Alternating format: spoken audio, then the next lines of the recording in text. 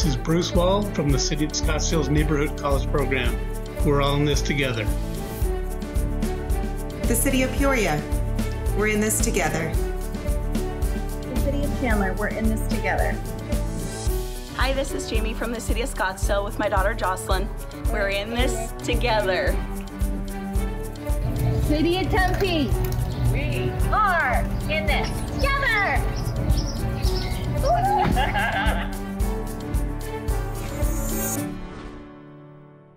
My name is Beth Mulcahy, and I am the managing partner and senior attorney for the Mulcahy Law Firm in Phoenix, Arizona.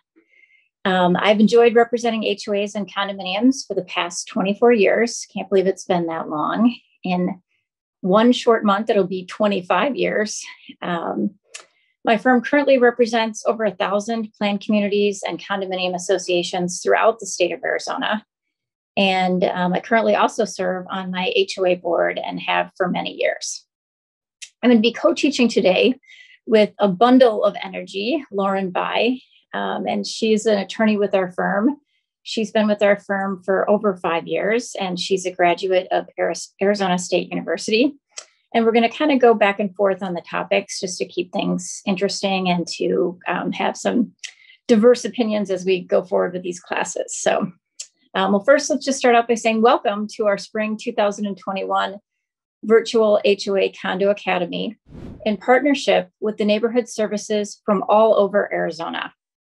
Together with the cities of Avondale, Chandler, Glendale, Goodyear, Mesa, Peoria, Scottsdale, Surprise, and Tempe, we've organized these special virtual HOA and Condo Academy classes. And today's class is number four in our six series class, which will extend through June 2021. Okay, what are we going to discuss in today's session? Uh, basically, we're going to give you an overview of what are your responsibilities in your association and what are things that you need to know so that you don't get in trouble when you're serving on your board and that you are in compliance with Arizona law and that you aren't you know getting sued and having a lot of hassles and hating your time on the board so we're going to try to give you the tools today that will help you make good decisions as a board and that will make your time productive so that you can get accomplish a lot of different things as you serve on your board. We're going to be sharing materials with you too throughout the presentation on both platforms on Zoom and then also on Facebook Live. Um, after the presentation, we also send out a summary, um, which includes links for all materials to those who registered for the class. Throughout the presentation, we're going to be sharing with you our popular Mulcahy cheat sheets, um, on several topics. And I would encourage you to visit our website at mulcahylawfirm.com, where you can find our full cheat sheet library. Currently, we have over 60 cheat sheets, and we have a lot of, of wonderful free resources for board members, homeowners, and managers. So we encourage you to check out our website at mulcahylawfirm.com. I like to have polls during the presentations that we're doing virtually so that I can hear from you. Um, I really miss seeing all of you in person. And I know um, that Lauren, who's co teaching the class with me today, feels the same way. Um, there's something special about having an opportunity to connect in person. And, and we definitely miss that by t- not teaching the classes in person right now as the pandemic is winding down. And the question is which city do you reside in?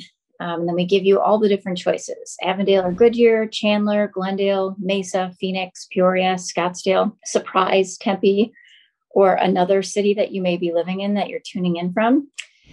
Um, by participating in the polls, you really help us determine who's here today and so that we can tailor our discussion um, you know, to certain cities and, and, towns if we have a large representation.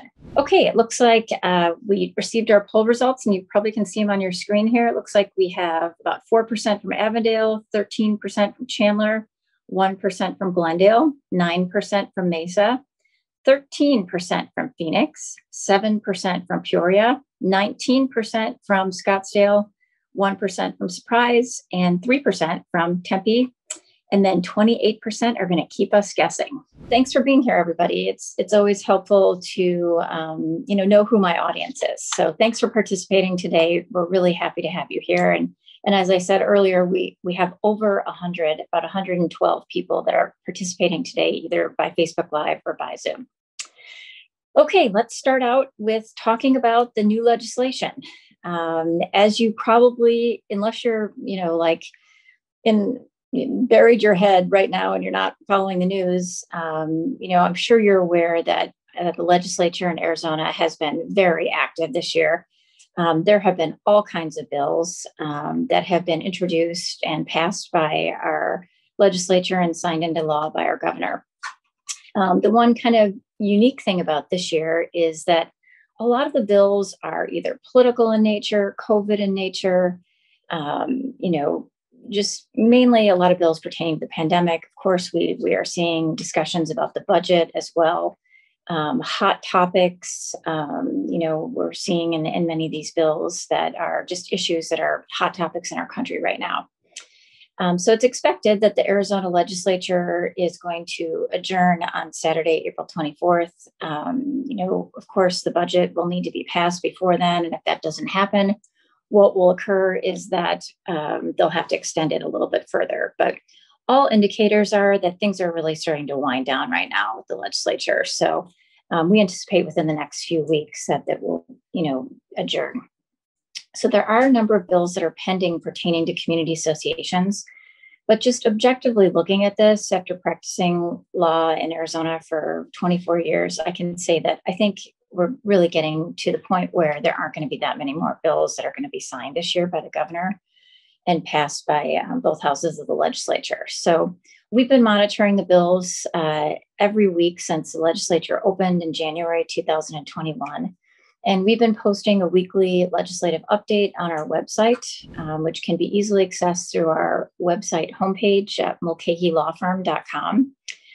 So there are three bills that have been signed by our governor in Arizona that pertain to associations. So I want to talk a little bit about those.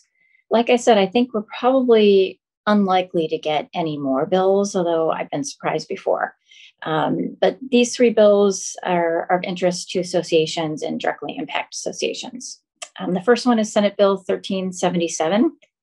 This deals with civil liability during a pandemic. This law will make it really difficult practically impossible, in my opinion, uh, for plaintiffs to prevail regarding a pandemic related lawsuit, so long as the association was or is acting in good faith. So if your association, you know, many of you I'm sure have heard from your insurance agents that there will be no coverage under your current insurance policies for um, if anybody sues you for, uh, you know, claiming that they got COVID 19 on, on our common areas this bill really provides added protection and makes it nearly impossible for plaintiffs to sue the association. Um, the only time, you know, it, that you might be able to be held liable is if it's proven that the association acted in a, a grossly inappropriate manner. Okay, the next bill, House Bill 2770, um, this talks about mask mandates. And um, it says that notwithstanding any other law, a business in this state is not required to enforce on its premises a mask mandate that is established by the state, city, town, or county, or any other jurisdiction of the state. And so basically, um, you know, this indirectly applies to associations. Of course, we're nonprofit corporations. And, um, you know, it says that associations are not required to enforce, you know, the mask mandate that, um, you know, we've been following for many, many months now during the pandemic. So it's just kind of an interesting kind of politically related bill. Um, you know, we still are encouraging for associations to require owners to wear masks on the common areas, um, just as a general principle for the safety and welfare of your residents. Um, and just because this bill is passed saying that that you know a business is not required to, it doesn't mean that you can't have more strict requirements um, through your rules or through um, guidelines that are posted in your association regarding wearing masks. And again, I think it's important to take a look at what the Center for Disease Control is encouraging regarding mask wearing at this time too. Okay, the last bill is Senate Bill 1722. This deals with political signs and condominiums and planned communities. And this bill extends the time a sign can be left up on an owner's property or residence property up to 15 days after the general election. Or if the sign is for a candidate in a primary election who does not advance to the general election 15 days after the primary election. So it just extends the time period that owners can keep their political signs up on their property. Um, there are some bills that are still pending. Um, I really think it's unlikely that we'll see these pass this year, but just kind of interesting to note. One was dealing with a, a bill that requires first responder flags to be allowed to be flown in HOAs and condos. Again, I, I don't think this is going to progress this year, and, and, this bill obviously is a sign of the times as we're navigating through the pandemic. Um, another bill which was pretty controversial, um, and I don't think it's going to get the support that it needs to pass this year, is a bill on political and community activity. And this bill would prevent an association from prohibiting or unreasonably restricting peaceful assembly or use of private or common elements um, on the property. Um, and this would be anything from discussing association business to really any sort of peaceful assembly that might, any topic that might be, uh, you know, an owner or resident wants to have in your community. Again, this, I don't think this is going to pass this year. This is a very unusual bill. This is the first time in 24 years we've ever seen a bill, you know, allowing peaceful assembly on a private property, HOA condominium property. So interesting bill. Um, the next thing um, is writs of garnishments, attorney's fees. Boy, do I wish this would pass this year. Um, maybe we'll see this come out of nowhere and, and really get some support in the last few weeks. But basically, this would give association attorneys um, the right to collect attorney's fees um, as they're doing writs of garnishment. So we do a garnishment after we get a judgment against an owner. And um, we after we get the judgment, then we can garnish the owner's uh, bank account, wages, or rent. And it's nice that after you get the judgment, to be able to automatically be able to add on the attorney's fees for the judgment, uh, for the garnishment, so that this doesn't turn into always getting behind on the attorney's fees and the homeowner can never catch up. So it would just give us some added, uh, you know, protections as we're moving forward with the garnishment to collect the attorney's fees on behalf of the association. Okay, let's do a quick little COVID 19 update in Arizona. I feel like I've been doing this now for an entire year, and surprisingly, we still have things to update about once a month uh, regarding how um, our governor is issuing orders and how associations are responding to those orders. So, just yesterday, Governor Ducey issued an executive order which preemptively banned vaccine passports. Um, this order does not apply to private businesses. So that's notable. So it wouldn't apply to like HOAs and condominiums because of that. In his statement, Governor Ducey continued to urge Arizonans to get the COVID 19 vaccine, but stated it will not be a mandate in the state of Arizona to get a COVID 19 vaccine. Governor Ducey's order focused on state agencies, counties, cities, and towns and businesses that are contracted by the state. But again, it doesn't apply to private businesses such as HOAs or condos. But just notable because, you know, we're seeing on the federal law or the federal side, you know, discussion of the um, COVID passport to travel, maybe internationally or across state lines. Um, now we're seeing, you know, a direct contradiction in Arizona and in other states too, saying that a, a vaccine passport will not be necessary in Arizona. Okay, let's talk a little bit about the economics of COVID. Um, since April 2020, um, CAI, the Community Associations Institute, which is a national think tank that provides really wonderful resources for associations around the country, um, they've been conducting surveys, national surveys regarding payment of assessments and assessment delinquencies during COVID 19.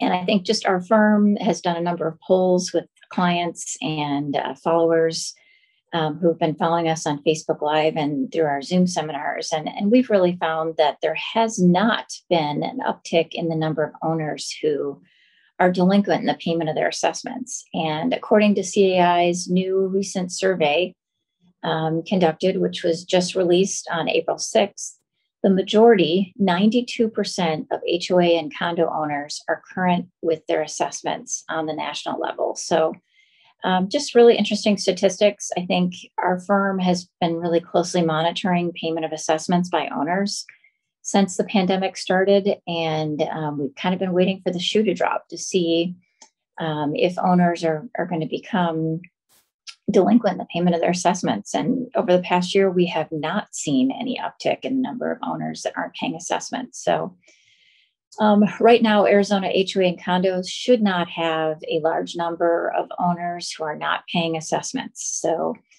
um, the current economic climate in Arizona um, of high property values, low interest rates, low for sale house inventory, plus lots of equity in your property, combined with all, all the federal and state COVID 19 stimulus money, we think has prompted many owners to pay their assessments. And we, we really hope that that trend continues in the future um, because associations are dependent on that assessment money. They do a zero budget every year. Every dollar that they, you know, assess against their owners needs to be paid to meet the expenses of the association. So, just another comment um, the federal government moratorium on foreclosures continues. Mortgage companies are still prohibited from filing foreclosure actions for delinquent mortgage payments and are required to provide forbearance and payment plans.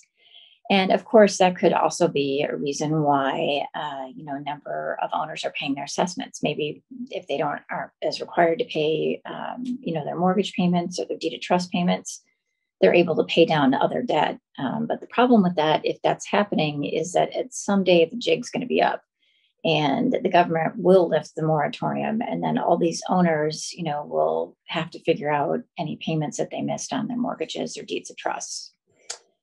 Um, and finally, just now that many people have been vaccinated, um, many boards are starting to ask me about transitioning back to in person board meetings. Um, in fact, I'm having my first in person board meeting tomorrow um, in the East Valley, um, and everybody's going to be socially distanced and wearing masks. So I think the big question is, you know, what is everybody's comfort level on uh, going back to in person meetings? I mean, I'm going to be the first person to admit I'm a little bit cautious about this, especially based upon the demographics of many of the communities that we represent. They're at the higher risk areas, but you know, a lot of people have been vaccinated. So is it time to get back to business, get back to in-person business? So I have a poll for you. Um, I want to hear from you. So let's try to get as many people as possible who are listening in today to let me know. Is your board planning to meet in person for future board meetings or your 2021 annual meeting? So, are you going to meet in person for future board meetings or your 2021 annual meeting? Um, and if you say yes, that means we're going to go back and do that. Um, no means we're probably going to just continue on with Zoom. It's working great for our community and we want to be safe through the end of 2021. Or I don't know. If you wouldn't mind answering that question for us now, it really helps give us feedback as to the pulse of everybody in Arizona on this topic. Okay, surprising. Is your board planning to meet in person for future board meetings or your 2021 annual meeting? 38% said yes, 24% said no, and 37% are probably on the fence. I don't know. Um, so I think we're just going to have to continue to see how things go. Um, I think from my perspective, having the meetings by Zoom has created a lot of efficiencies, and um, a lot of boards are really embracing it because it allows for more participation um, from owners and from board members. And um, it's working for them. Maybe a hybrid is something that we'll see through the rest of 2021 and beyond. Some in person meetings, maybe only your annual meeting each year, or um, maybe you have your regular board meetings by Zoom and only your annual meeting in person, or you know, maybe a couple meetings in person per year, or maybe all of them. Maybe you go back to in person for everything. We'll just have to see. Time will tell. Okay, let's switch gears and talk a little bit about general responsibilities for board members.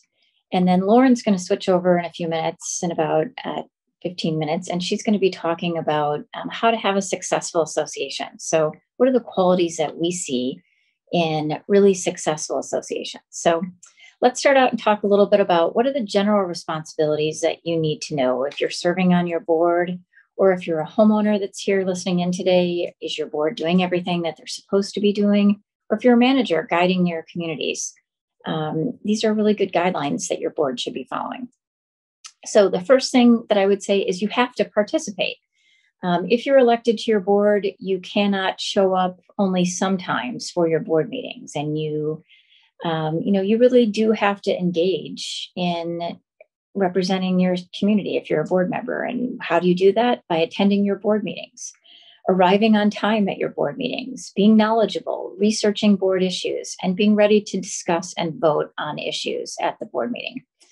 Um, something that I think is frustrating sometimes for boards is when we have board members that just don't come or board members that show up at the board meeting and they haven't they're not they haven't looked at the packet. They aren't aware of what the you know the big issues are for that meeting. So you don't really have to spend a ton of time getting ready for a board meeting. I've served on my board now for about 14 years. And i can say on and off 14 years i needed a little break in there. And what i can say is i look at the board packet for five to 10 minutes before the board meeting. Um, and i try to do it the night before if possible um, and I just spin through it quickly. Okay, these are the issues. If I have any questions, then I can reach out to our manager to ask for clarification on something so that when I come into the meeting, I'm ready to go. I'm up to speed on the issues um, and I'm ready to participate. So, first thing is you got to be able to participate if you're serving on your board.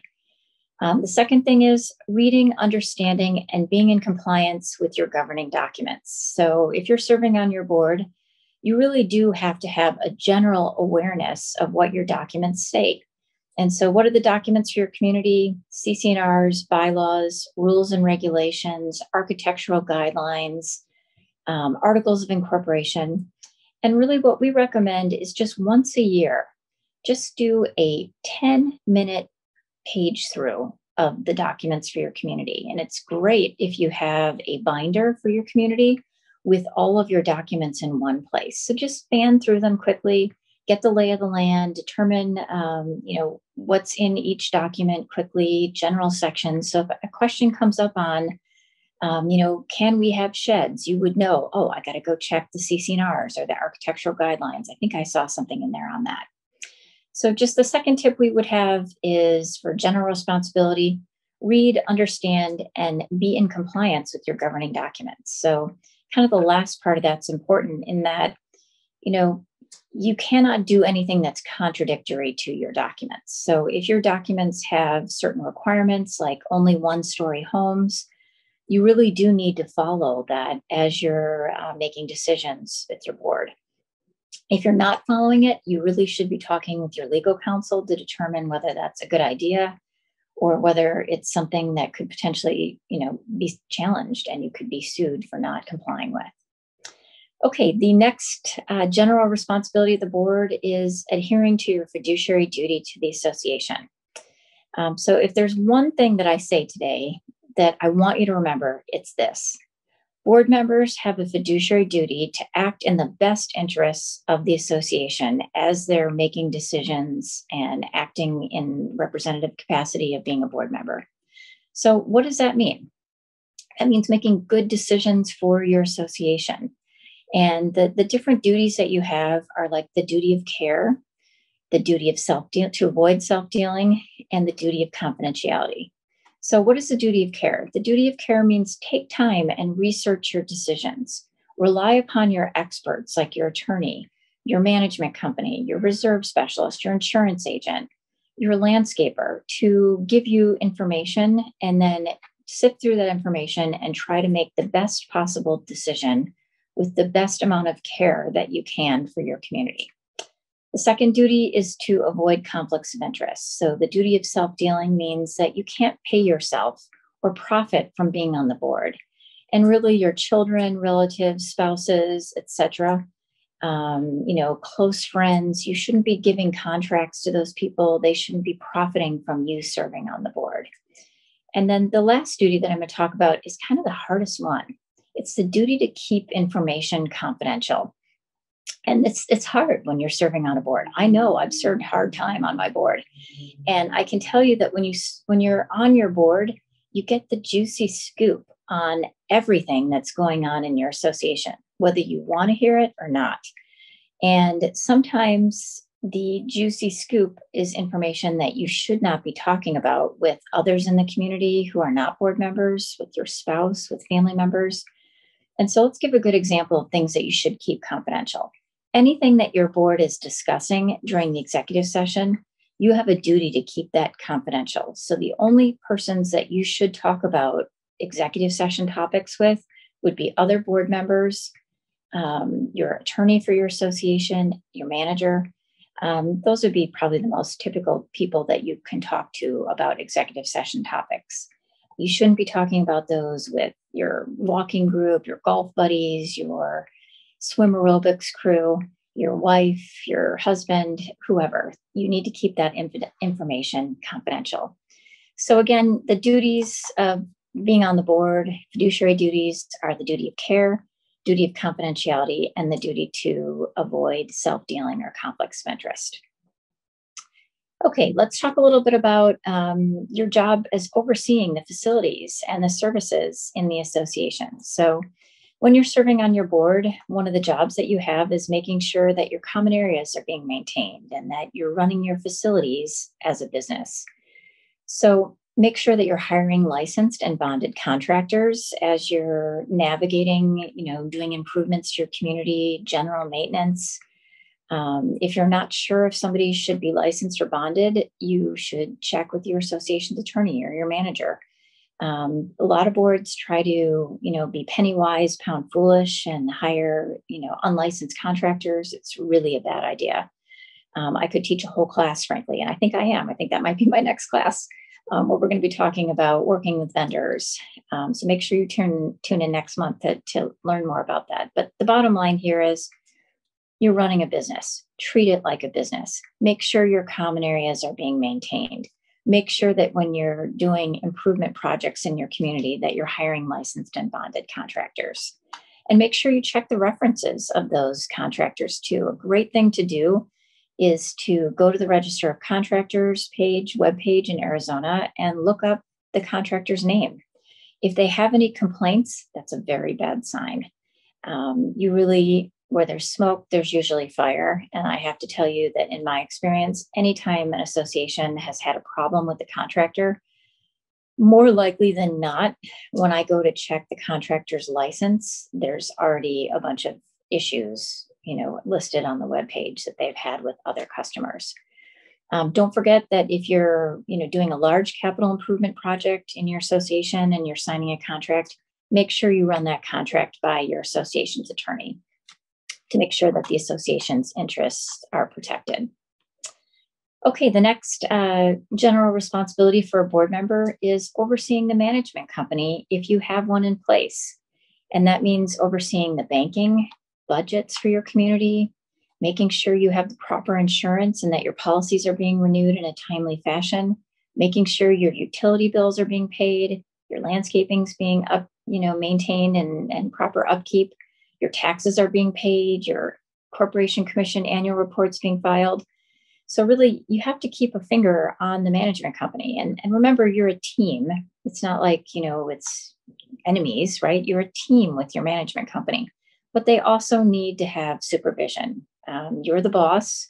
They work for you. You want to work together well but you need to be double checking to make sure that they're doing what they're supposed to be doing under the contract that you signed with them and that they are keeping your financials in good condition and that bills are being paid on time and making sure by double checking the bank statements to make sure that the money that's being paid out of the bank statements are in fact being paid on association bills. So overseeing the management company is the next general responsibility of the board. The next general responsibility I'm going to talk about is the open meeting law. Um, and so in Arizona, we have a special open meeting law that is just for HOAs and condominiums. And what that law says is that anytime a quorum of the board is meeting to discuss association business, it has to be an open meeting. And so, quorum of the board discussing association business, you're going to need to give 48 hours notice to your membership. Most of our clients are doing that now by putting it on their website uh, maybe they send an email, maybe they post it on the common areas in the community. Um, and you have to follow, you know, the open meeting law. Now, obviously, many of us have been conducting open meetings now virtually for the past year due to the pandemic. Um, and so we have a great cheat sheet on tips for conducting successful virtual meetings, which my team's going to be sharing with you shortly here. Um, we also have um, some wonderful resources on our webpage uh, on running open meetings in compliance with Arizona open meeting law for HOAs and condos. Um, so I encourage you to, to look at both of those cheat sheets. Um, some boards are meeting in person again, as we saw from our poll. Some of you are definitely ready to do that. Um, just remember that um, if you are meeting in person again, remember to social distance.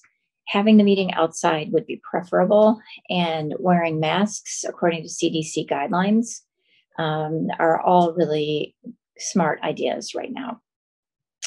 Okay, the next uh, responsibility for the board of directors would be following and enforcing the rules, the CC&Rs, the bylaws.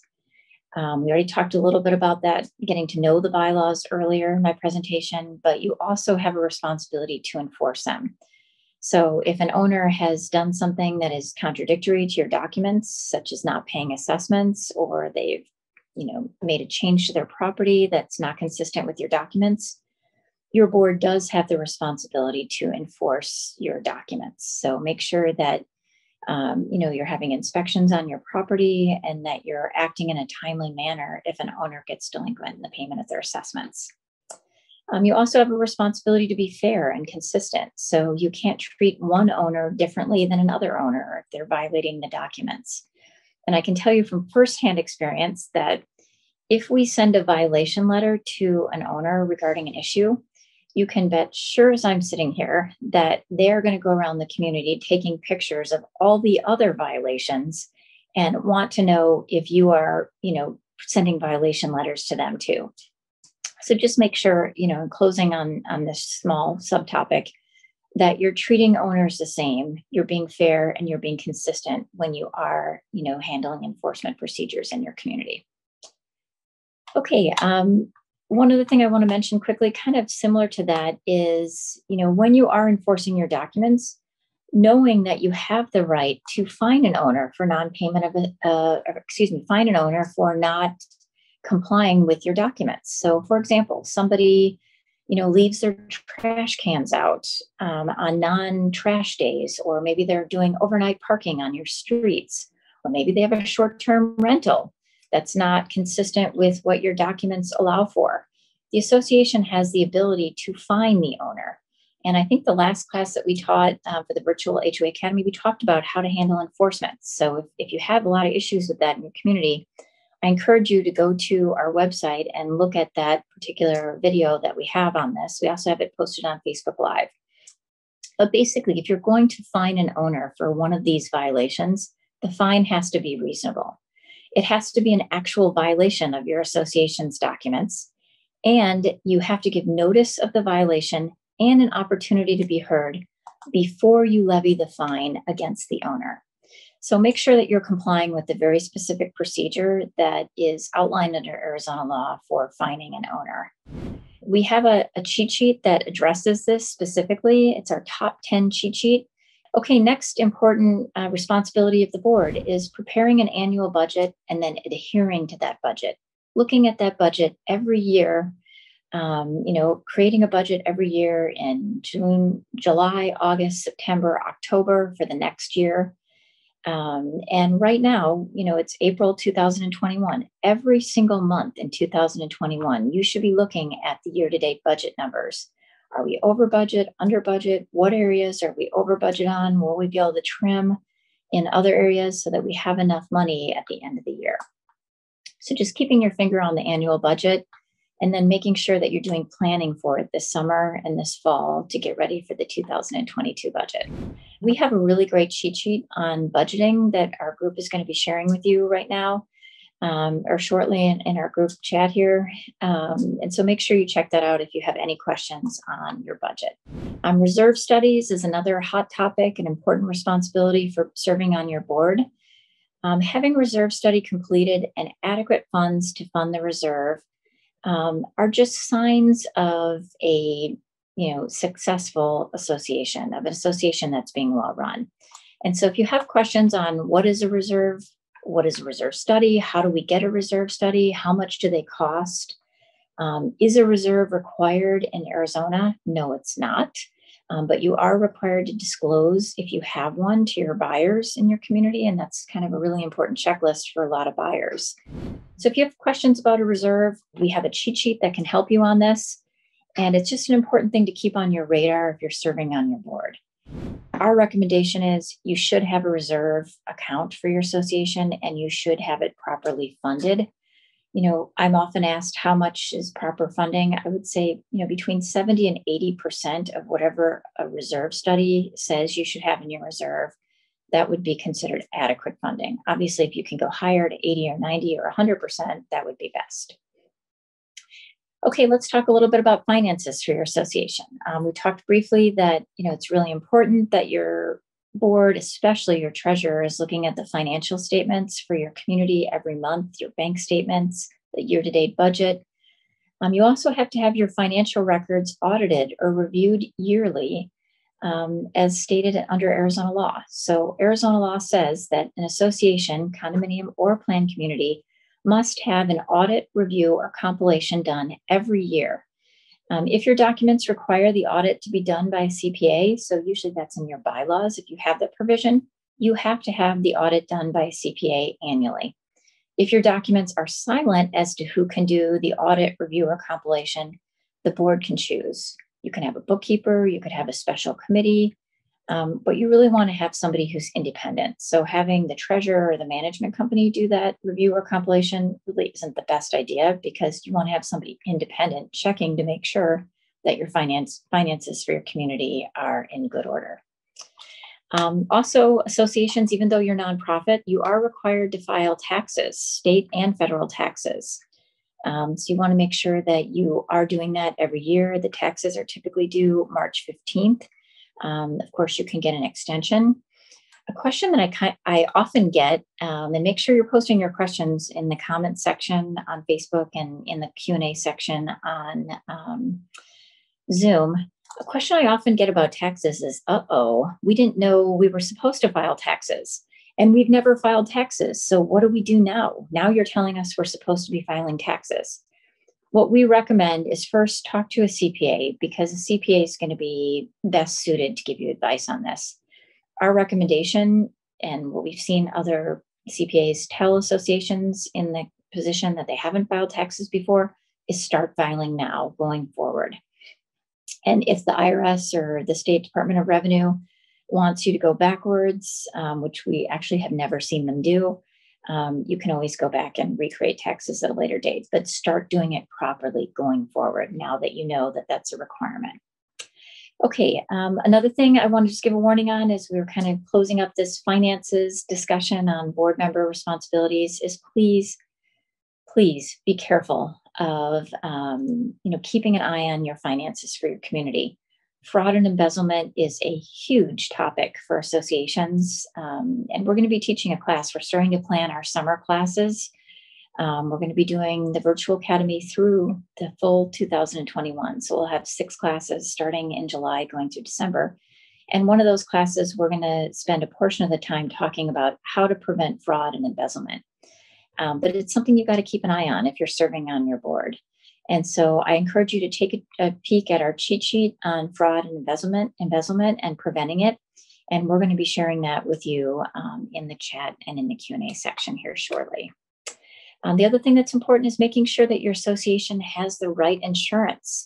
So typically you need to have general liability insurance for your association's common areas, um, directors and officers insurance so that if a director or officer is sued, that there's insurance coverage to pay for the legal defense of officers and directors, and then fidelity bond in the event that somebody steals money from your association. Um, also, knowing when to hire professionals and following their advice. So, as a board, you should have a you know a dream team surrounding you of a lawyer that cares about your association and that wants to keep you out of trouble, doesn't want your association to get sued. Um, a management company who is you know, carrying out the wishes of the board, um, an insurance advisor, reserve advisor, um, a landscaping advisor, all of these different advisors to help you make the best decisions you can while you're serving on your board. Um, also important to remember that you have to file an annual report every year with the Arizona Corporation Commission to keep your nonprofit corporation status. Um, if you want to check to see if you are in good standing right now as a corporation, our my team is going to be sharing the link um, to you you know where you can go to the arizona corporation commission website and look up you know your corporation's name your association's name to see if you are in good standing If you aren't in good standing, you want to reach out to your attorney, make sure that they can help you get back into good standing. Because if you're not in good standing, that means that every owner in your association could have personal liability for the debts of the association. Um, the last two things I want to mention before I switch over and talk with Lauren are, you know, two important things. Number one, um, it's important for your association's board to recognize that you have a duty to run a professional annual meeting. We have a great cheat sheet on this called um, Successful Annual Meetings, and we're going to be sharing that with you in the chat.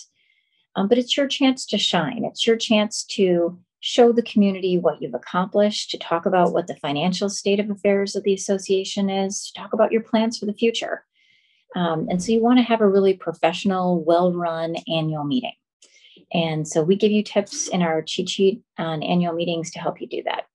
And then the last topic, equally important, is just being nice. If you're serving on your board, you've been elected to serve your community. I know you're not getting paid, and trust me, I know this is probably a job that has a lot of hassles. Um, but regardless of how mean some of the owners might be to you, or how um, you know upset they may come to a meeting, you still have to be nice try to have an approachable and business-like manner as a board member. Be nice to owners, even if they aren't nice to you. Okay, so I'm going to switch gears right now, and I'm going to have Lauren Vie, who's an attorney with our firm, um, give the next little short part of the presentation, about 15 minutes, talking about what are the secrets that we see of successful association? And we're going to be sharing with you what those secrets are so that your associations can be successful too. So I'm going to turn it over to Lauren Vie Esquire. Um, she's an attorney with our firm. She's graduate of ASU Law School. She's on a roll right now with a number of, of case victories and Department of Real Estate um, hearing victories. So um, she can talk to you about what it takes to be successful from being in the trenches. So, turning it over to Lauren. Thank you, Beth. Um, so, like Beth said, I'm going to be talking about all the secrets that we have learned of what makes a successful association. And before we start, I want to say there is no one formula for a successful association. Um, for Beth having done this for 24 years and myself having done this for over five, I can tell you all of your associations are wildly different and your needs are different too. So, what's going to make you successful will depend a lot on your specific association and the board members that you have. But that being said, we have amassed um, good tips and tricks and things that we have consistently seen in successful associations that we want to share with you because they really do make your time on the board 1000 times easier. They really do. If you take that extra effort, you will find the experience to be a lot more enjoyable. Um, and so, some of those things are strong and effective leadership on the part of the board, good communication with your members. This is so key, good communication. Being aware of and following the terms of your governing documents, state law, and relying on those professionals that Beth mentioned earlier, being able to talk to your attorney when you deem it necessary, being able to go to a CPA to make sure that your finances are in good shape, a reserve company, a great manager or management company that can really help lighten the load. All of these things really help you run a successful association. The one that I think is the most important is having very effective, outstanding communication with your homeowners. I really cannot overemphasize how key this is. Communicating with your owners will make your life so much easier because they will already have the information uh, that they need to make decisions. They won't be bothering you as much for additional information because they'll be able to access it on, on all the platforms that you provide it. So, some ways that you can have excellent communication with your homeowners is giving the homeowners an opportunity to be to speak before or after the general session at a board meeting. Um, you can decide what works best for you if it's better at the beginning or the end, but giving your homeowners a chance to speak, whether it's a complaint that they want to voice, whether it's just a general comment, whether they have a question, that really, really demonstrates to your homeowners that one, you care what they think, you want their input, and that you're willing to give them a platform to contact you. we get a lot of complaints that homeowners feel that they can't contact the board or that it's difficult for them to do so. So, giving homeowners that platform really helps them. It gives them an outlet, but it also helps them feel like, okay, my board does care what I have to say, or my board does care about my question. You don't have to solve their problem right then or there. You don't even have to really respond. You can tell them, thank you for your comment. Thank you for your question. We're going to take it under advisement, or we'll get back to you, you know, within the end of the week or something like that. But having them be able to vocalize their concerns or questions really goes a very, very far way with your membership. Also, remember when you are at a board meeting and the board is discussing an issue, before you take a board vote on the matter, you need to open the floor to your homeowners for comments. Their comments may in no way, shape, or form affect the outcome of your decision. You may have already decided what you're going to do. Their comments may not even be particularly constructive but you do have to let them voice their opinion on whatever you're voting on. It's not the same as a general open forum. They need to make sure that their comments are specific to the topic that you are about to vote on, but you do have to open it to them under Arizona state law. Um, something else I want to mention really quick about opening the for, know, having a homeowner forum is you're allowed to limit the time that they speak. You don't have to let somebody ramble on for 45 minutes because they refuse to sit down. You can say, okay, we're going to give our homeowners three minutes or a minute to speak. Or if you have a particularly packed meeting, you can say, we're going to give everybody 30 seconds.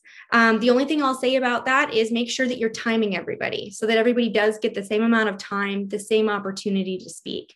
But again, it really does go a long way with your homeowners to give them an opportunity to contact you and speak to you in person.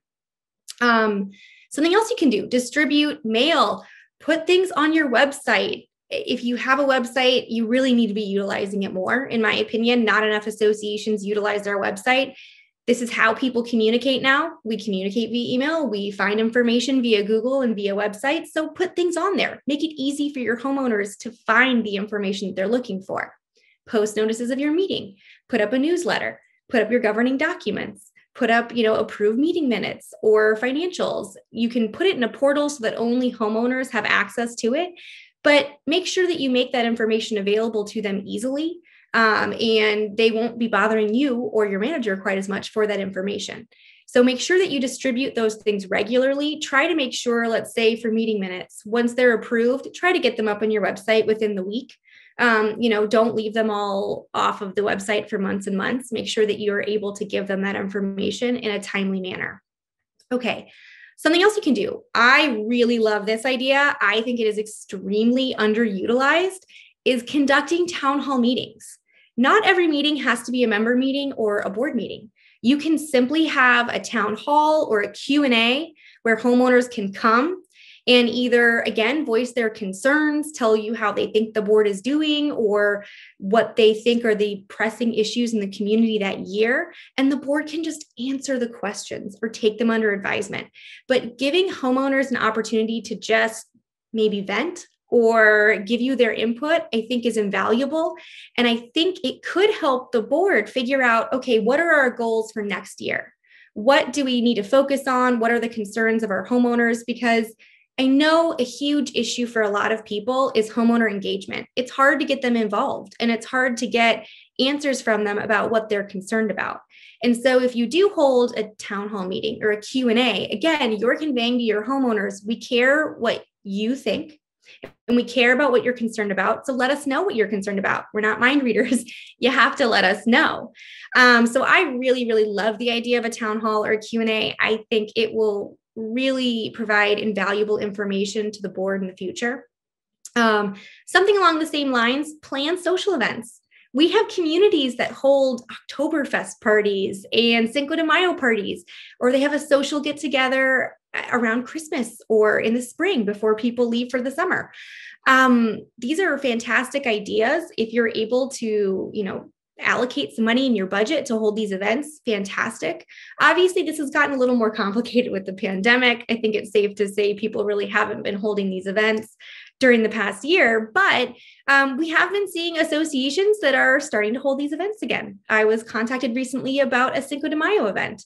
Um, so if you do hold an event like this before we, I don't know if we'll ever get the all clear to be out of the pandemic, but if we, you know, before we get any kind of um, approval from the CDC to say, yes, you can all get together without masks now. Try to make sure that you have social distancing measures in place, that people wear masks when they're not eating or drinking. But these events really do go a long way in fostering that community feeling um, and helping people feel like, again, invested in your community, that they want to be a part of your community and they want to take part in what the board is doing. Um, you can, oh, something else you can do that's really, really important, and you need to tell your managers to do this as well, is to respond to members in a timely manner. Um, we do get reports, and I, I know we're all busy. We all have a lot going on in life, and it can be easy to miss an email.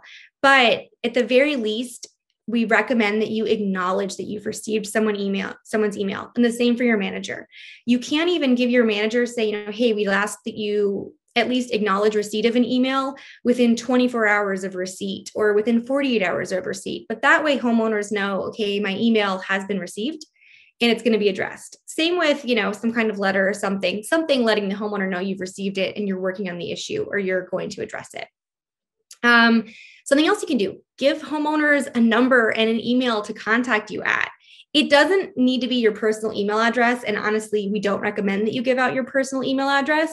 If you can create a general Google email for the association, that's probably the best way to do it. That way, all of your communications to that inbox are solely association related.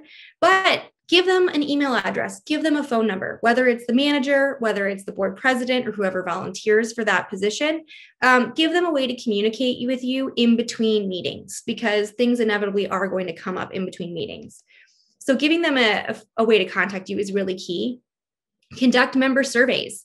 Um, via SurveyMonkey, you can send out a postcard that owners can send back to you. But this is a really, really great way to determine, again, just to take the temperature of your association, what people are happy about, what they are unhappy about, but also to basically um, kind of see before you spend a bunch of money, do homeowners want you to spend money on it? You know, you can take a poll. Do you want to amend the CC&Rs? Do you want to try to, you know, repave the parking lot or something like that? That's a great way to gauge homeowner interest before you make a decision. You can form a welcome committee this is a great way to get people involved in the community. So you can have homeowners or board members that go and welcome a new owner to the community. Um, and you can also give members, this is kind of the same thing as a survey, but give them postcards that are self addressed and already have a return stamp on them so they can send that back to you and um, let you know their thoughts or concerns. So, how do beyond communication, how do we have strong leadership in a community? Because we generally have not a revolving door of board members, but we have people coming and going, right? We, whether your terms are a year or three years, people come and go off of the board, and that leads to different um, I guess, leadership styles in the community. And we want to figure out how to best work with everybody. Um, qualities that we see in good board members, I mean, consistently across the board, we always see these qualities. They emphasize teamwork. They try to involve all the members of the board. They make sure everything is a board decision unless they've been, you know, expressly granted authority to make a decision unilaterally. But you want to make sure that people are participating in being a board member and feel like they're a part of the process we find often that sometimes board presidents can kind of be those people in school who ended up handling a group project all on their own. You know, they didn't need the rest of the team. And we want to avoid that in community associations. We want to make sure that everybody is contributing on the board, has a say, feels that their input is valued. So, making sure that you're playing to the strengths of the people on your board is so important don't make the most timid, shy, non confrontational person on your board the president. They're going to hate that role and they won't do well. You know, maybe you make them the treasurer, maybe you make them the secretary, kind of a backseat role, but play to the strengths of the people on your board so that you have the best possible board that you can.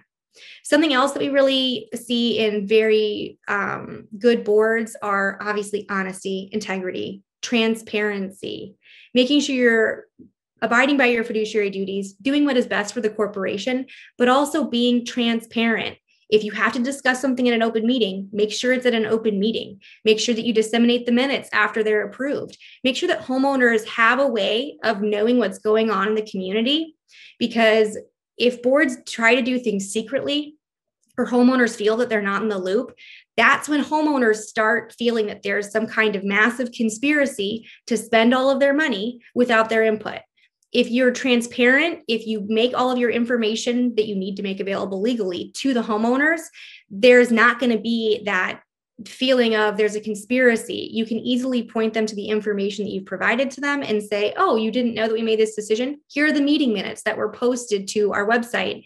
Um, you're obviously always welcome to attend a meeting. We make sure that they're noticed. So there's no reason for you not to come unless you have a conflict that kind of transparency goes a long, long way in being a successful association.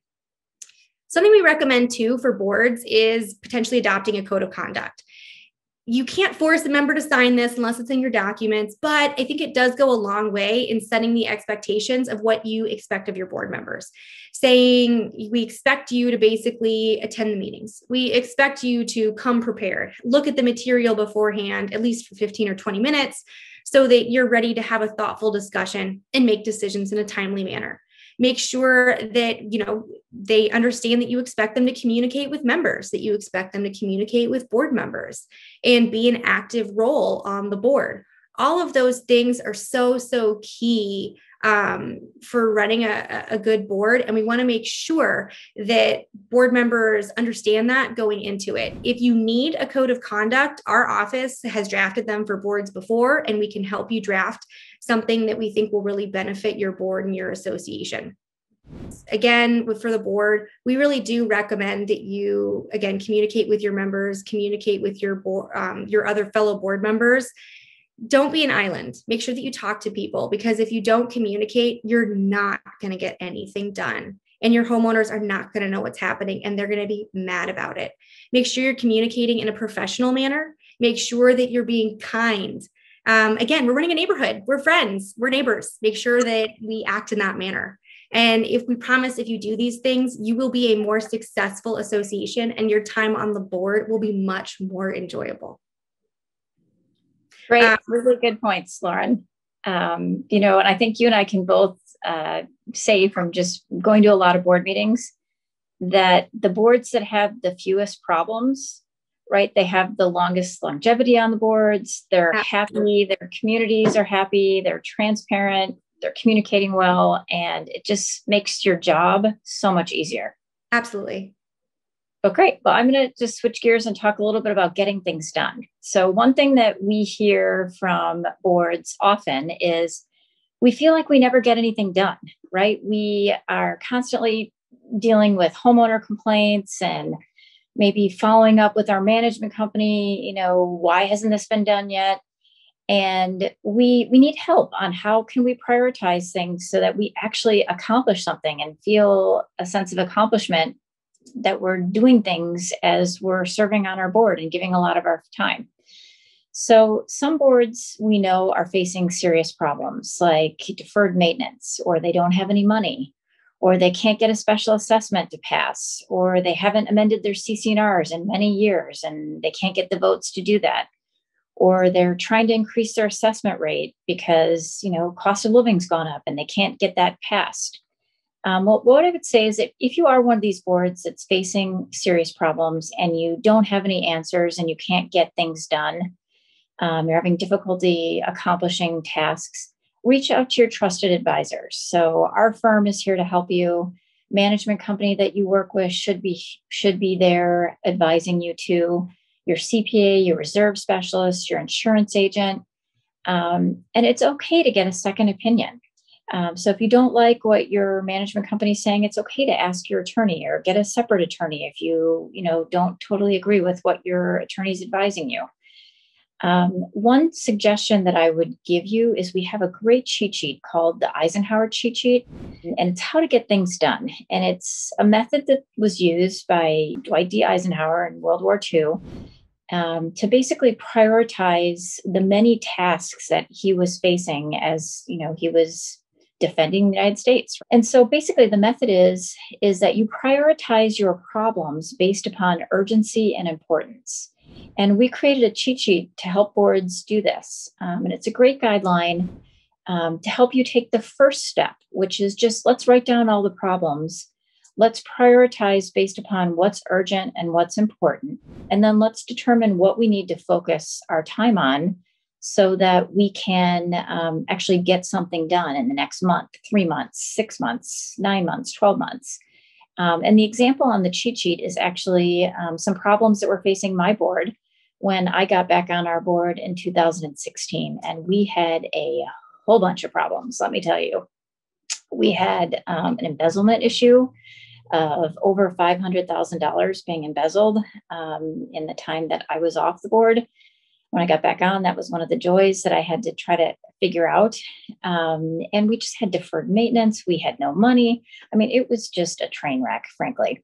And so basically, what I did is I Eisenhowered it. I put all of the problems that we had in the Eisenhower grid that we show you how to do on our cheat sheet.